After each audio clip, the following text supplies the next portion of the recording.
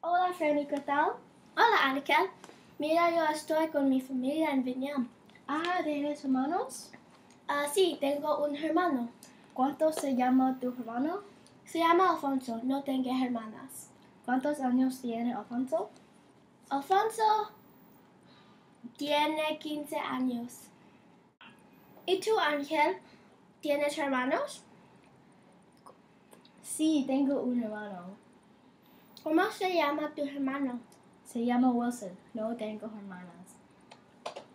Ah, ¿Cuántos años tiene Wilson?